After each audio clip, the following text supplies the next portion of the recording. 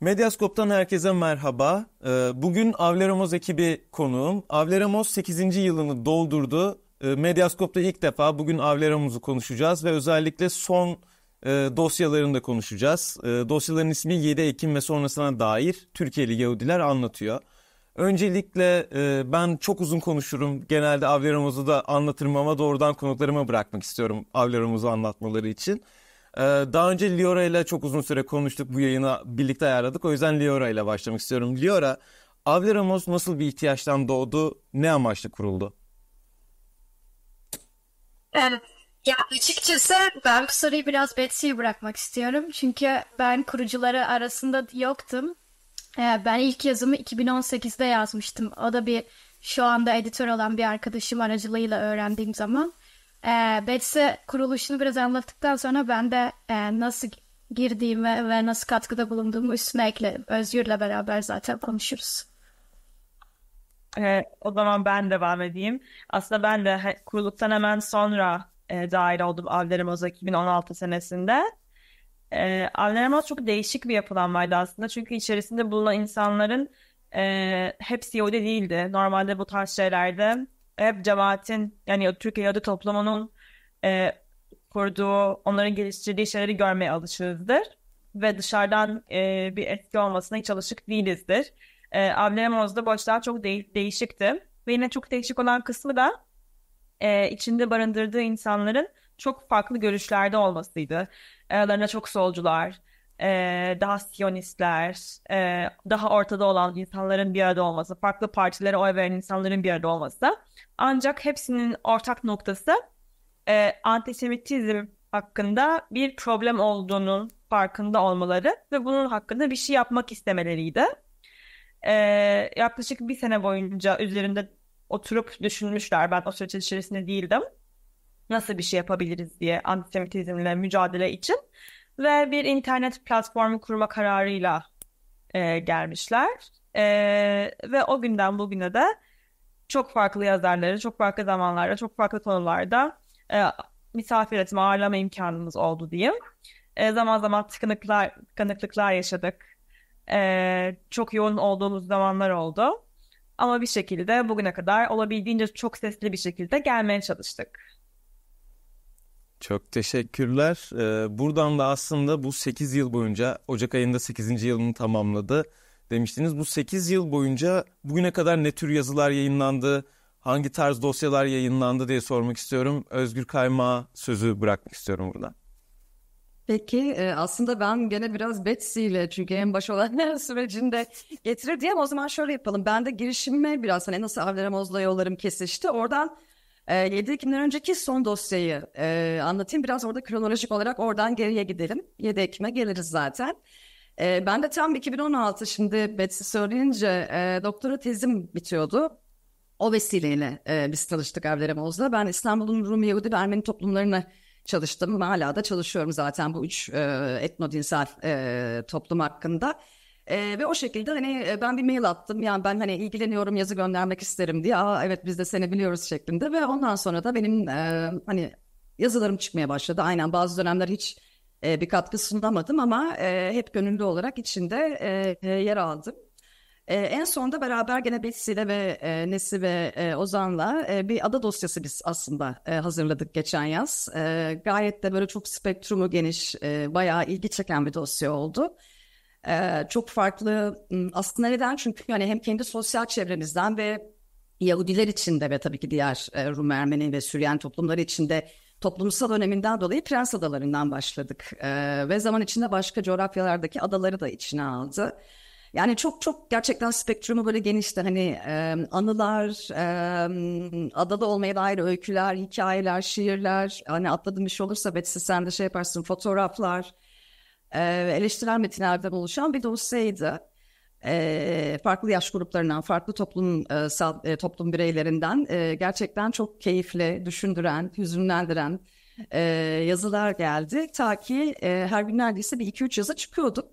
İşte 7 Ekim'e kadar, 7 Ekim'de tabii bütün bu planlar değişti e, deyip ben buradan Betsy'ye vereyim. Belki oradan bir geri gider Betsy. Evet bir tık aslında geriye almak lazım. Çünkü Avleramos'ta bir ilk kurulduğunda asıl esas amacı hala öyle tabii ki de antisemitizmle mücadele olduğu için e, biraz e, şey amaçladı yani hiç Yahudilik hakkında bilgisi olmayan, Yahudiler hakkında bilgisi olmayan bir kişi internete girip bazı keywordler yazdığında biz bu insanların karşısına çıkabilelim ve biz onlara e, doğru bilgiyi ulaştırabilirim ve perspektif sunabilirim. E, bu sebeple e, öncelikle Holocaust'la başlamak üzere e, Türkiye'deki azınlıkların başına gelmiş diğer e, üzücü olaylar işte 6-7 Eylül programı gibi, Trakya olayları gibi, e, varlık vergisi gibi konular hakkında ya orijinal yani yeni yazılar üretilmesini talep ettik insanlardan veya hala hazırda daha evvel yayınlanmış yazıları da kendi arşivimize alıp tekrardan yayınlamaya başlayarak ilk dosyalarımızı böyle oluşturmuştuk. E, zaman içerisinde hani değişik bir şeyler yapalım, daha evvel konuşulmamış, yapılmamış bir şeyler yapalım derken bence bizim en güzel ve en heyecanlı dosyalarımızdan biri olan e, LGBT dosyası ortaya çıktı. E, bu dosyada yanlış hatırlamıyorsam e, 8 veya 9 farklı e, ismini açıklamadan e, bize röportaj veren e, Türkiye'de başka coğrafyalarda yaşayan ama Türkiye'li olan e, LGBTİ Yahudi bireylerle görüştük. E, çok bence sansasyonel oldu bu, bu dönemde.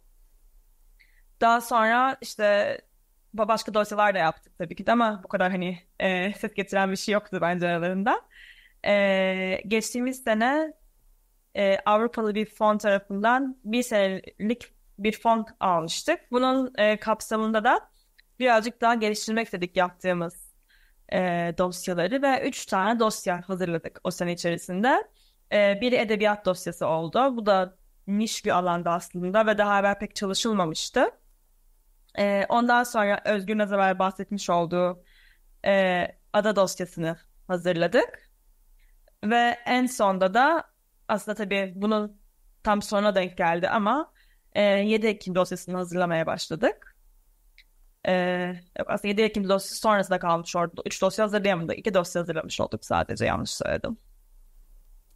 Eğer 7 Ekim'e geçmeden ben de çok kısa kendi Avleramos maceramdan bahsedeyim ve benim için Avleramos ne demek ondan bahsedeyim. Oradan da zaten 7 Ekim'e bağlarız. Ee, ben de aslında ilk e, bu LGBT dosyasını gördükten sonra Avleramos'a olan merakım gelişti. Ben de o dosyaya bir yerimden katkı sağlamıştım.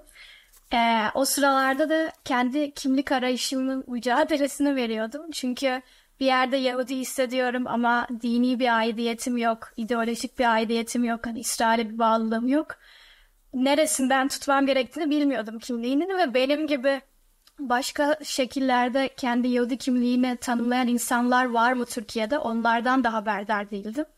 Ee, bu şekilde biraz Avleramoz'u aslında hem tabii ki asıl amacı antisemitizmi e, nasıl azaltırız, nasıl önüne geçebiliriz ama hem de Türk özellikle Türkiye'deki Yahudi toplumundaki çeşitliliği ve çok sesliliği nasıl öne çıkarabiliriz? Ee, onun da ama önemli amaçlarından biri olduğunu düşünüyorum ki bence o iki, iki amaç birbirinden farklı düşünülemez. Yani benim açımdan e, antisemitizmle mücadelenin e, bir yollarından bir tanesi de aslında Yahudi toplumu dediğimiz grubun homojen olmadığını, içerisinde farklı siyasi görüşler, farklı kişisimsel kimliklerin bulunduğunda bir şekilde geniş topluma aktarmaktı. Ee, o yüzden ben de kendime güzel bir yer buldum Avleramoz'da. Ee, çok düzenli yazamasam da yazı yazmaya devam ettim.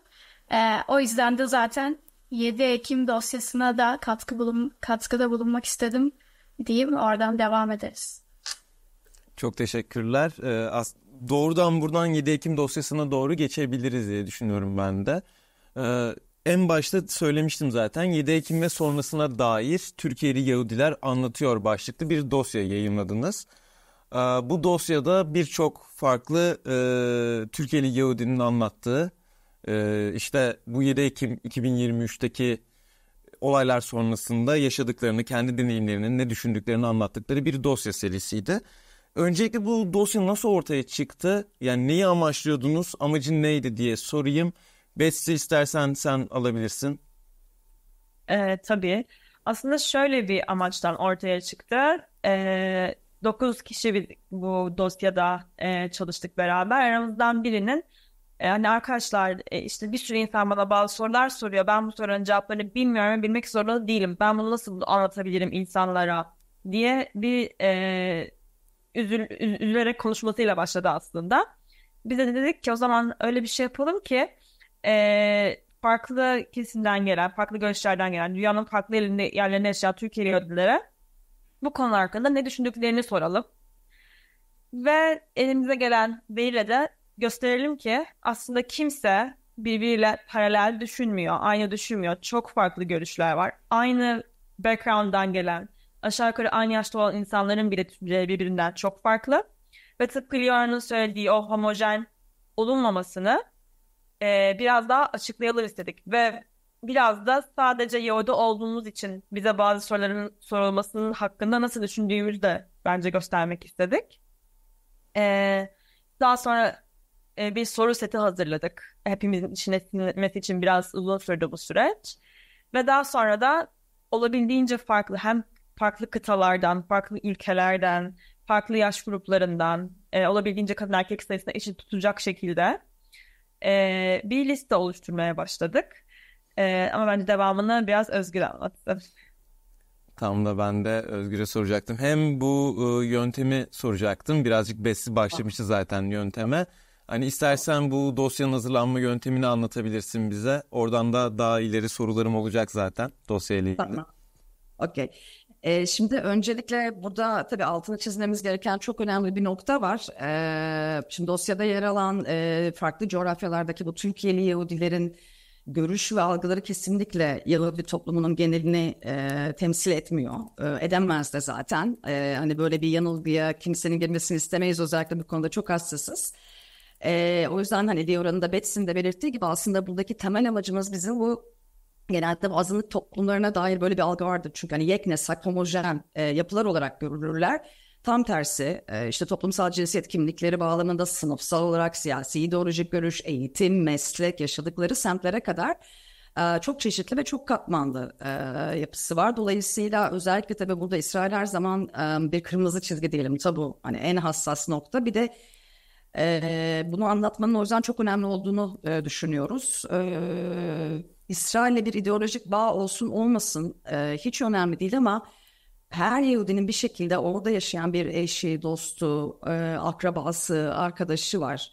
O yüzden e, bu duygusal bağ diyelim belki sembolik bağ e, göz ardı etmemek gerekiyor. Bütün bu geçen süreçte hisleri, yaşadıkları, kendi içlerindeki yüzleşmeleri ki biraz belki görüşmelerin tespitlerinden hepimiz böyle bahsederiz. Bu çok önemli. Um, Betsy'nin dediği gibi e, biz ben bir de notlarıma da bakayım yanlış bir şey söylememek için ilk başta 36 kişiye ulaştık ve nasıl ulaştık? Biz buna işte biraz akademik bir e, tabirle kartopu yöntemi diyoruz. Yani kendi çevremizden. E, böyle böyle bir çalışma yapıyoruz. E, katkıda bulunmak, konuşmak ister misin diye. E, 10 kişi işte çeşitli sebeplerle e, katkı sunamayacağını söyledi. Ve biz 26 tane e, Türkiye'li Yahudi'yle işte İsrail'de yaşayan, Kuzey Amerika'da yaşayan, Kanada'da yaşayan, Avrupa'nın farklı e, ülkelerinde yaşayan Yahudilerle İstanbul'da yaşayan tabii ki e, online veya yüz yüze görüşmeler yaptık. E, bu görüşmeler yaklaşık bir buçuk saat kadar sürdü ve e, kesinlikle hani özel hayata saygı ve e, gizlilik amaçlı mahalas kullanmalarını istedik. Çok kendi hayatlarına dair spesifik bilgileri mümkün mertebe hep sansürledik tabii ki. E, her ne kadar görüşmeciler çok güvenerek ve içten bir şekilde e, anlatsalar da e, ucu açık sorulardı. Mesela um, şeyden başladık hani o 7 Ekim sabahı işte saat altı buçuk gibi nasıl uyandın? O haber nasıl aldın? Tabii her yaşadığı yer, yere göre bu değişiyor. Yani e, Tel Aviv'de yaşayan bambaşka bir tecrübe karşılaştırılamaz. İstanbul'daki bambaşka WhatsApp'lara gelen mesajlar vesaire. E, ve o günden başlayıp hani böyle aslında biraz bir e, ne diyelim Berlin kutusunu, Pandora'nın kutusunu açıp e, işte o günkü hisler, algılar, e, ilk kimlerle konuştu, neler paylaştı e, ve olaylar netleşmeye tabii başladıktan sonra o şok biraz daha e, geçtikten sonra diyelim. E, tabii sosyal medya biliyoruz yani müthiş bir alan. E, bütün o sosyal medyada paylaşımlar karşısında neler hissetti. E, kimisi mesela arkadaşlıklarını kesti. E, dolayısıyla e, hem sosyal çevrelerinden hem kendi cemaat çevrelerinden e, ailelerinden e, nasıl bir ilişkisellik kurdular, bu bağlamda bu süreci nasıl yaşadılar aslında buydu. Duyguları, hisleri, algıları üzerine kuruluydu. E, ve tabii ki özellikle de yükselen bu antisemitizmle nasıl baş ediyorlar, neler düşünüyorlar. bunun çevresinde dönen sorulardı. bazıları bazı görüşmelerden de çok başka hiç diğer görüşmelerde çıkmayan konu başlıkları da çıkıyordu. Onları da irdelemeye çalıştık. Ve bütün görüşmeleri kendimiz yani görüşmeyi yapan kişi deşifre etti. Ee, ve ondan sonra da editör verdiği süreçten geçtikten bir önce onaya gönderdik mutlaka. Kendisi onayladıktan sonra bir editörel süreçten geçtikten sonra da işte ana spot başlıklarını çekip yayına koyduk. Hmm, çok ufak da demografik profili anlatayım e, farklı yaşlardan, eğitimlerden e, ve mesleklerden ve cinsiyetten e, 26 kişi dedik. Bunun 14'ü kadın, 12'si erkek. Yani orada bir e, eşitlik sağladığımızı düşünüyoruz. Yaklaşık 18-45 yaş arasında bütün görüşmeciler. Dediğim gibi işte Türkiye'de, İsrail'de, Avrupa ve Kuzey Amerika'da e, yaşıyorlar. Eğitim düzeyleri genelde hemen hemen aynı. Yüksek, yüksek lisans, doktora. E, deyip, bilmiyorum bunlar yeterli mi bir şey eklemem Var mı soracağınız bir şey ya da devam edelim buradan. Ben Liora'ya o zaman e, e, paslayayım. Onu da ekleyecekleri olacaktır mutlaka. Tamam. Ee, çok güzel toparladın bence. Yöntemle ilgili çok küçük bir de şey ekleyeceğim. Ee, biz Ocak gibi insanlara ulaşmaya başlamıştık. Sonra röportajların çoğu Ocak'la Nisan arası gerçekleşti. O yüzden yani bunu hatırlatmakta fayda var. Çünkü İsrail-Filistin bağlamında her gün bir şey değişiyor, her gün bir olay oluyor. Yani biz bu röportajları yaptığımızda Amerika'daki bir son e, protesto dalgası daha olmamıştı. Yani çoğu röportajı yaptığımızda. O yüzden tabii ki izle bir editoryal süreçten de geçtiği için hani izleyicilere ulaştığı zaman onlar şey diye düşünmesini istemeyiz. Niye bu konu geçmedi, niye bu soru sorulmadı vesaire. Yani biraz tabii zamanın da farkında olmakta yarar var. Çünkü her gün bir şey oluyor. Ee, o yüzden her şeye yetişmek çok mümkün değil bu röportajları yaparken. Şimdi bulgulardan gelirsek e, şey Özgür çok güzel bir şey söyledi. Dedi ki İsrail'e gönül bağı ol, olsun veya olmasın röportaj yaptığımızın herkesi röportaj yaptığımız herkesin İsrail'de ya bir akrabası ya tanıdığı ya arkadaşı ya ailesinin arkadaşı vesaire e, bir sosyal kişisel bir bağ var e, ve bu sosyal bağ nedeniyle de orada olan herhangi bir terör olayı başka ülkelerdeki e, gerçekleşen terör olaylarından tabii ki çok daha derinden etkiliyor. E, çünkü en başında zaten tanıdığım kişilere yakınlarıma bir şey oldu mu kaygısı tedirginliği var. E, o yüzden de yani ideoloji fark etmeksizin e, çoğu Yahudinin İsrail'le böyle bir ilişkisi var. Ondan bahsetmekte yarar var. E, diğer aklıma gelen şey de e, bu aidiyet konusu. Belki onu tekrar Betsy ve Özgür'le açarız. Yani burada da farklılıklar var. E, yani benim gördüğüm görüşmecilerin çoğu bir yerde İsrail'e bir duygusal e, bağ hissediyor. Yani bunu nasıl tanımlarız çok emin değilim. Ama e, ideolojik olarak e, kendini Siyonist olarak tanımlayanlar da var. Anti-Siyonist olarak tanımlayanlar da var. Ya da bu iki kalıba da sığmak istemeyen bir şekilde e, ya ortada ya da bu kalıpların dışında gören ve e, kendini bazen apolitik olarak tanımlayan insanlar da var. O yüzden oradaki ideolojik çeşitliliği de vurgulamakta fayda var. Ee, bunun dışında bu ideolojik olarak aidiyet konusunda belki Betsy özgür bir şey eklemek ister. Sonra şeye de gelebiliriz. Yani antisemitizm tecrübeleri özellikle Türkiye'de yaşayan insanlar bu konuda nasıl deneyimlediler, ne hissediyorlar 7 Ekim'den sonra vesaire. Ben aslında şeyi eklemek istiyorum. Ee, ya biz Avnermos kurulduğundan beri tabu olarak demek istemiyorum ama İsrail konusunu ol, olabildiğince e, deşmemeye çalışıyorduk. Çünkü bizim İsrail hakkında yazdığımız bir şey üzerinden antisemitizm üretilmesinden biraz çekiniyorduk. Ee, ve en azından Abdülhamit'teki bazı kişiler bundan çekiniyordu diyeyim. Herkes için genellemek için olmasın ama e, bu dosyayla bence tabi ister istemez bunu da aşmış olduk. E, çünkü bayağı konuşuluyor yani günün sonunda. E, evet yani ayet konusunda Leon'un söylediklerine kesinlikle katılıyorum. Ben daha fazla et, e, ekleyeceğim bir şey yok. E, Ama şey açısından da çok değerli olduğunu düşünüyorum. E, okuyucular açısından e, bütün bu e, veriyi okurken e, hem kendilerine yakın insanların varlığını görmek onları rahatlattı. Bunu bizzat e, bazı okuyuculardan aldığım mesajlardan gördüm. Kimi zamansa e, o kadar ters görüşler yayınlandı ki inanamayıp inanamıyorum bu insanın işte bizim cemaatimizden biri olduğuna, bu insan kendisini Yahudi olarak tanımlıyor mu gibi sorulara dahi maruz kaldık ve aslında e, çok geniş bir spektrumda Türkiye'li Yahudi olduğunu olduğunu göstermek açısından da bence başarılı oldu. Çok teşekkürler. Ee, benim sorularımı kendi aranızda gerçekten yavaş yavaş da atlıyorsunuz. O yüzden gerçekten güzel bir program oluyor. Daha böyle canlı bir program olmaya devam ediyor. Ee, aslında ben yine e, Özgür Özgür Hanım'a soracaktım doğrudan şeyi hem bulgularınızı siz ne düşünüyorsunuz bulgular üzerine o bulgular üzerinden de aslında Türkiye'de yaşanan e, örneklerde size etkileyen örnekler sizlerin görüşmelerinizde siz neler etkiledi bunları anlatabilirsiniz. Oradan da daha çok bu dosyaya gelen tepkileri ve yorumları merak ediyorum. Özellikle son dönemlerde de ben de sosyal medyada görüyorum bazı tepki ve yorumları. Tamam. E, o zaman ben e, benim kısmımda başlayayım. Bir e, şunun altını çizmek istiyorum. Çünkü işin bir de akademik boyutunu e, çok çalıştığımız için e, en fazla Yahudi çalışmalarında tartışılan, konuşulan e, misal yani bir panele konferansa katıldığımızda işte çalışmalarımızı anlatırken gelen ilk soru ve hep etrafında dönüyor. E, peki Yahudiliği nasıl tanımlıyorlar? Nasıl tanımlıyorsun? Yani bu soru gerçekten böyle çok kilit noktada ve e, Liora'nın da çok güzel altını çizdiği gibi e, bu o kadar farklı bir şekilde e, bir dağılım gösteriyor ki toplum bireyleri içinde. E, yani etnik olarak mı tanımlıyor, dinsel olarak mı, ikisi birbirinin içine geçmiş mi yoksa tamamen bunlardan bağımsız mekanla tanımlayan var. İşte kültürel Yahudilik denen o cultural Jewish olarak tanımlayanlar çok var. Ee, yani bir şekilde biz bu farklılıkları da ortaya koymaya çalıştık ki işte gene aynı şeye geliyoruz. O işte her Yahudi İsraillidir veya İsrail zaten doğal vatandaşları olarak görünüyor. Bu da en çok fazla değil mi? Antisemitizmin e, tetikleyenlerden biri bir sebep e, veya her Yahudi Siyonisttir. Tabii o Siyonizmin şimdi içindeki tanımı da çok belki değişti görüşmelerde hep ona tanık olduk. Dolayısıyla biraz da bunu yıkmak istedik. Hayır değil.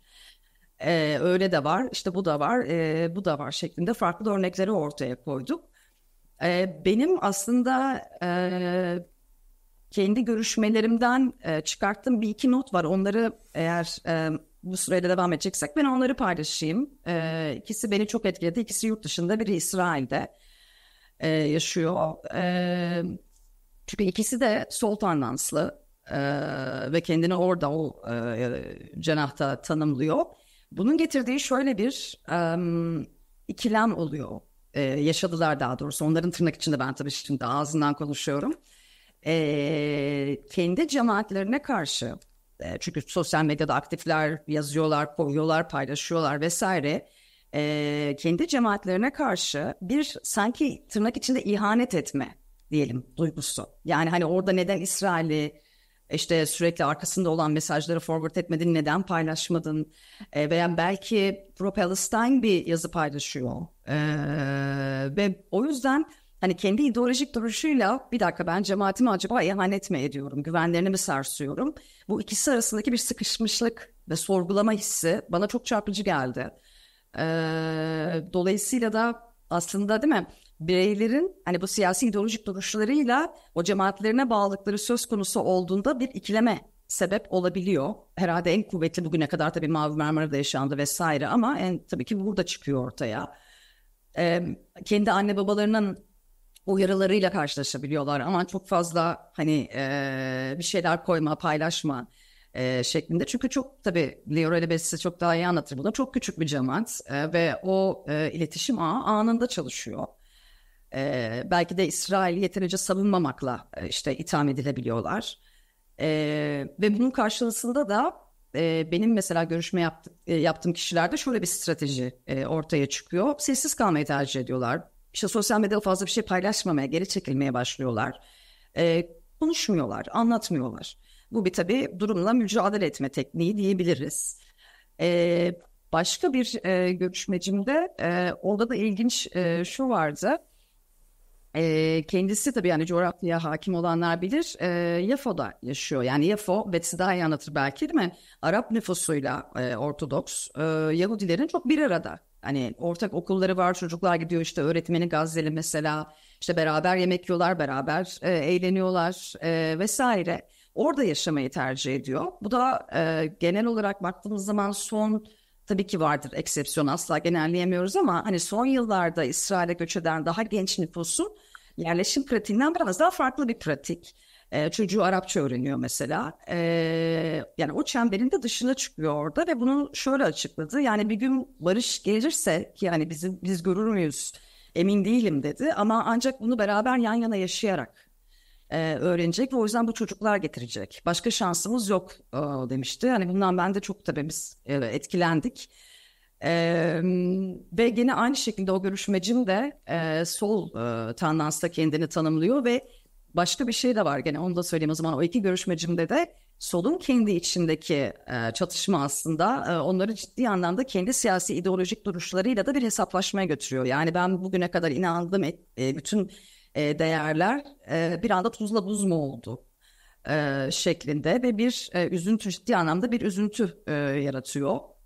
Yani her anlamda aslında şunu diyebiliriz bu savaş süreci hala içinden geçtiğimiz farklı alanlarda insanların hayatında yüzleşmeleri, çatışmaları, işte belli arkadaşlıklarda mesela kopuşları veya yeni oluşumları da ve yeni alanların da açtı diyerek ben sözü arkadaşlarıma bırakayım.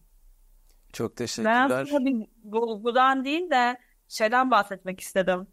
Ee, bu hep diyor ya çok farklı sosyal çevrelerde insanlarla görüştük vesaire. Şimdi bunların bazıları yayınlandı, bazıları yayınlanacak daha tam yarısındayız şu anda dosyanın.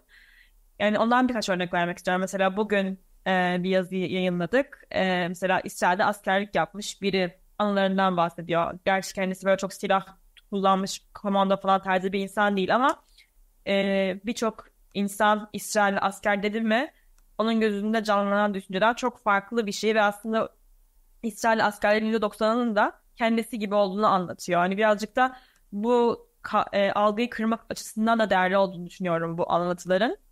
Yine e, önümüzdeki günlerde yayınlanacak bir tane çok dindar e, bir Yahudinin İsrail'de yaşayan e, 7 Ekim'e sonrasına dair görüşlerini göreceğiz. E, onun dışında işte Türkiye'de ve İsrail'de yarı zamanlı yaşayan birkaç kişinin e, aidiyet duygusuna dair çok bence çarpıcı e, sonuçlar çıktı. E, o açıdan hani ben spoiler da vermek istemem okumak isteyenler için. E, ama tavsiye ederim okumalarını. Çok teşekkürler. Ben Liora'ya döneceğim. Bulgulardan biraz bahsetmişti ama hem konuşacak gibi duruyor zaten biraz da. Kendisi için de çarpıcı olanları, kendi düşüncelerini anlatmak istiyordur diye düşünüyorum. Liora söz sende. Evet ben de birkaç ekleme daha yapayım. Ee, ya bir tane diyeceğim şey şu. E, tabii ki amacımız aslında e, antisemitizmle mücadele etmekti ve bunun kapsamında çeşitliliğe yer vermekti. Ama şunu da gördük.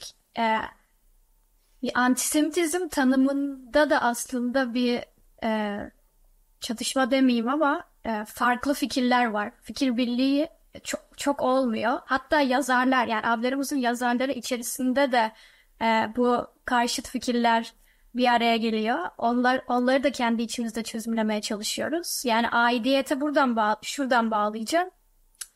Ee, İsrail'e gönül bağı olan ve Siyonizm ide ideolojisini benimseyen insanlar e, bazen hani İsrail devletine karşı yapılan bir eleştiriyi antisemitizm olarak algılayabiliyor. Ee, yani bunu bütün Yahudiler böyle düşünüyor diye genelleyemeyiz ama böyle bir düşünce var yani bunu da tartışmak gerekir. Ee, görüşmeciler de bundan bahsetti zaten yani e, sadece İsrail'de yaşayanlar değil Amerika'da, Avrupa'da ya da Türkiye'de yaşayanlar da hani İsrail'in varlığına karşı bir eleştiri ya da İsrail devletine karşı bir eleştirinin de antisemitik olduğunu düşündüğünü ve bu yüzden de e, tedirgin olduklarını vesaire ifade etmişlerdi. Ama bunun karşısında Siyonizm, İsrail Devleti ve Yahudi kimliğini tamamen ayıran görüşmeciler de vardı. Yani İsrail Devleti her devlet gibi eleştiriye açıktır. e, Siyonizmden bir ideoloji olarak eleştiriye açıktır ve antisemitizm bundan bağımsızdır. Böyle değerlendirmemiz gerekir diyenler de vardı. Bu yüzden insanlara hani antisemit, antisemit e, deneyimlerini sorduğumuzda bu bağlamda da farklılıklar gördük. Onu da belirtmek istedim. E, bu konu hakkında belki Besti ve Özgür de ekler. Bir de başka aklıma gelen e, nokta da Türkiye'deki siyasetle bağlantısı. E, yani röportajlarda gördüğüm e, insanların bir kere çoğu aslında görüşmecimiz seküler kendini geleneksel olarak tanımlayan, çok dindar olmayan, daha seküler bir hayatı, e, hayat tarzını benimsemiş insanlar. Ve bu insanların Türkiye'ye dair kaygısı antisemitizmin yanında aslında seküler hayat tarzına karşı bir saldırı olduğunu düşünmeleri ve hani ülkenin çizgisinin daha da İslami bir yöne gitmesinden dolayı e, kaygılandıklarını ifade ettiler. Bu noktada mesela işte bazı görüşmecilerimiz dedi ki yani Türkiye'de yaşayan e, işte sol kesimin yaptığı Filistin'e destek yürüyüşleri beni çok rahatsız etmezken e, şeriatçıların yaptıkları e, Filistin'e destek yürüyüşleri inanılmaz tedirgin etti. Yani kadın olarak da tedirgin etti, seküler e, insanlar olarak da tedirgin etti. Yani burada da belki çok ufak e, Türkiye politikasına girmekte e, yarar var ya da ilginç olabilir diye düşündüm. E, buradan bazı görüşmeciler mesela hani göçle ilgili düşüncelerini de ifade etti. Yani hani İsrail'e göç etmeyi düşünenler de hani antisemitizmin dışında Türkiye'nin politik çizgisinden dolayı da e, bu düşünceye sahip olduklarını ifade etti vesaire. Böyle birkaç ekleme yapayım. E, konu göçe gelmişken ben de iki tane örnek vereyim. Ee, okuduğum röportajlardan hepsini ben yapmadım o röportajların ama e, bir tanesi şey açısından değerli buluyorum. 7 Ekim öncesi göç etmeyi düşünen ve göç e, etmeyi düşündüğü yerden belki de başında İsrail geliyorken e, savaştan sonra bunun e, artık eskisi gibi öncelikli olmadığı olmaması çünkü aslında onların da e, farkına varması bir sa- savaş coğrafyasında yaşıyor olduğumuzu e, bir diğer enteresan örnekse Amerika içerisinde geldi bence. E, Amerika'nın çok böyle yenilikçi bölgesinde yaşayan sol görüşlerin çok e, ağır bastığı ve kendisinin de bu sebeple orada yaşamayı tercih et, ettiği bir görüşmeci. E, şu anda e, bütün bu e, olan gösterilerin vesaire okullardaki müfredatların dahi değişmesinin e, kendisine ve çocuklarına e, inanılmaz bir e, kötü etkisi olduğunu düşündüğünü ve bu sebeple e, Amerika içerisinde bambaşka bir yere göç etme kararı aldıklarını ve şu anda göç ediyor olduklarını anlattı. E, yani aslında burada hani şeyde e, Orta, Orta yaşanan bir e, olay kıtalar uzaklığındaki başka bir e, coğrafyadaki insanların hayatlarını bile aslında gerçekten etkiliyor.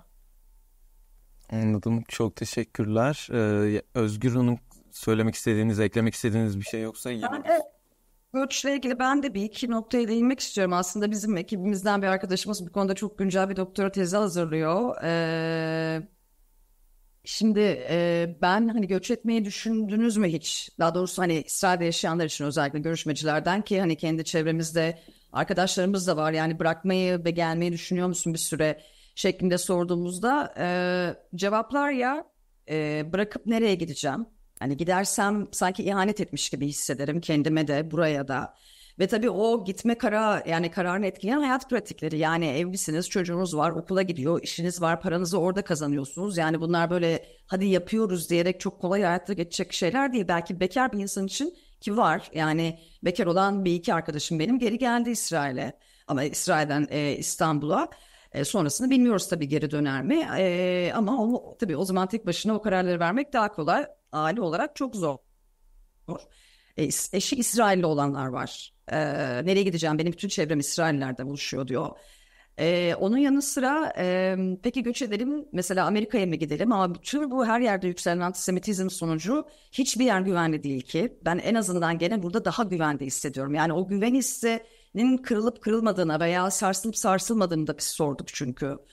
Ee, tabii ki politik eleştiriler geliyor. Hani nasıl bu olabildi bu kadar güvendiğimiz işte kuvvetli bir ülkede vesaire. Onlar iç hesaplaşmalar. Ee, ama dünyanın her yerinde yükselen bir antisemitizm varken e, ben gerek kendimi burada daha e, güvende hissediyorum da e, başka gelen yorumlardı. Yani bu böyle yelpazeyi oluşturuyor aslında aşağı yukarı diyebiliriz. Çok teşekkürler. E, açıkçası ben bu yayını hazırlanmadan önce de dosyayın, dosyadan birkaç yazıyı okudum. E, hatta arkadaşlarımla da konuştum işte böyle bir yayın yapacağım siz de okuyun sizin de ilgilendirir. Bu daha yayının başında konuştuğumuz amacınızla ilgili gerçekten beni arkadaşlarımı da inanılmaz etkilemiş bir e, dosya konusuydu. Bize de çok şey öğretti çünkü o esnada. E, buradan şeyi merak ediyorum aslında. O dosyayı okuyan çevreniz, sosyal medya hem cemaat içinden hem de cemaat dışından nasıl tepkiler aldınız? Belki bu tepkileri konuşmak da önemli olabilir. Çünkü bu da ayrı bir deneyim. Hem Türkiye siyasetine bağlanabilir hem genel bir siyasete bu anti, yükselen antisemitizme bağlanabilir. Ee, ben sözü Betsy ile başlatayım. Ya bence benim bu soruya vereceğim cevap birazcık sığ kalacak. Çünkü yaşananlar bence biraz sığ kalıyor. Ee, yani toplum yani şöyle anlatmak istiyorum. Bir mesela bir yazı yayınlanıyor. Veri belli. Hep yani her şey çok binary. Bu for musun against misin? Bunun yanında mısın karşı mısın? Genelde şöyle oluyor. Eğer yazı e, genel anlamda İsrail'i eleştirmiyorsa ve İsrail tarafındaysa mesela e, bu zaman o zaman e, daha sol tandanslı insanlar ne kadar kötü bir yazı, başka işte röportaj yapacak kişi bulamadınız mı, böyle bir şey olabilir mi vesaire tarzı yorumlar alıyoruz. Her röportajdan sonra muhakkak yorumlar geliyor. E, diğer taraftan da eğer daha sol tandanslı, kendisini açıkça antisyonist olarak e, tanımlayan birinin e, röportajını yayınladıysak da bu işte asla bizim cemaatimizi temsil etmeyen bir kişi niye bu kişiyle konuştuğunuz konuşacak başka kişi mi kalmamıştı diye bu sefer de başka bir kesimden aynı yorumlar geliyor. Ee, merak ediyorum yani sonuç olarak galiba herkes bir şekilde e, forwardlama yöntemiyle hoşlanmadıkları yazıları okuyorlar ve asla kendilerine daha yakın olan yazıyı okuduklarını düşünmüyorum. Dediğim gibi çok yani, sığ bir yorum. Ama e, benim günlük pratikte sürekli maruz kaldığım bir problem oluyor bu. Genelde çünkü e, ben şey gibi oluyorum biraz böyle dalışma gibi. Herkes bana bir şeylerle geliyor genelde. E, benim için de biraz yorucu oluyor. Çünkü her iki tarafa da hani şey anlatmaya çalışmam gerekiyor sürekli. Bizim zaten amacımız bu. Olabildiğince farklı kişilere alan açmak, onların nefretlerini duyulmasını sağlamak. E, bizim bir e, resmi bir görüşümüz yok. Her seferinde bunları tekrar etmek gerekiyor. E, e, ama belki Diyor Hanım ve Özgür'ün daha farklı deneyimleri de olmuştur bu konu hakkında. Ben de onlara bırakayım. Ya ben Betsy'e tamamen katılıyorum. Çok ufak et, ekleme. E, bence çoğu insan röportajların tamamını okumuyor. Yani aynı röportajın tamamını da okumuyor. Bu da biraz sosyal medya ile ilgili bir sorun. Belki yani siz gazetecilerin de muzdarip olduğu bir sorundur e, diye düşünüyorum.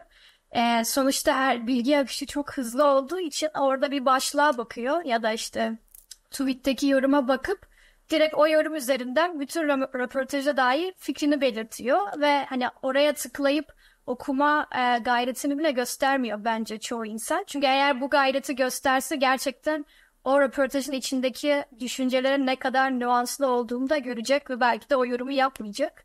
Ee, ama tabii ki bizi de etkiliyor bu yorumlar. Yani ne kadar hani görmezden gelmek istesek de çünkü o kadar emek veriyoruz gerçekten hani hem deşifresine ayrı hem görüşmesine ayrı, editlemesine ayrı. O yüzden yaptığımız röportajların en azından bir röportaj okunacaksa da o röportajın hep bütün tamamının okunmasını istiyoruz yorum yapılmadan önce. O yüzden üzülüyoruz tabii böyle tepkilerle karşılaşınca. Ama e, sürpriz de gelmiyor yani bana açıkçası yani. Beklediğim bir şey. Evet ben o zaman buradan tamamlayayım kısaca. Maalesef okuma alışkanlığı yok. Pot okunuyor ve direkt pas geçiliyor. Bütün yorumlar onun üstünden geliyor. Ee, dediği gibi e, Liora'nın yani Betsy'nin burada diğer bütün arkadaşlarımızın da gerçekten gönüllülükle e, gidiyor ve biz yani kendi zamanımızdan veriyoruz yapıyoruz ama aynı zamanda bir de bunun duygusal emek boyutu da var. Çünkü çok e, travmatik bir süreç ve başından beri gerek kendi çevremizle gerek görüşmecilerle bir bağ kuruyorsunuz. Yani bu evet bir görüşme yaptım ettimle olmuyor. Yani bir haber duyduğunuzda mesela iyi misin, her şey yolunda mı bir mesaj atıyorsunuz vesaire. Dolayısıyla bir duygusal bağ da kuruluyor. Orada ciddi bir emek de var bence. O yüzden ben de bu dosyanın çok e, akademik açıdan da kıymetli olduğunu ileride umarım daha çok e, anlaşılır kıymeti e, düşünüyorum. Ben mesela kendim kendi sol çevredeki arkadaşlarımdan çok tepki aldım.